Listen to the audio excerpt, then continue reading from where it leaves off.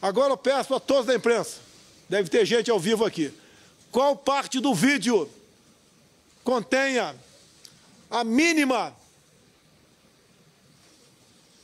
comprovação que houve interferência minha na superintendência do Rio ou de qualquer outro estado ou na diretoria geral da Polícia Federal.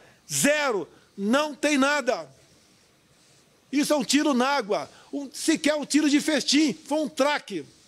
Lamento o senhor Sérgio Moro, uma pessoa que tem uma história, tem um passado, ajudou e muito com a sua caneta a fazer justiça no Brasil, mostrando corrupções bilionárias em estatais, em bancos oficiais, tem um fim melancólico desse.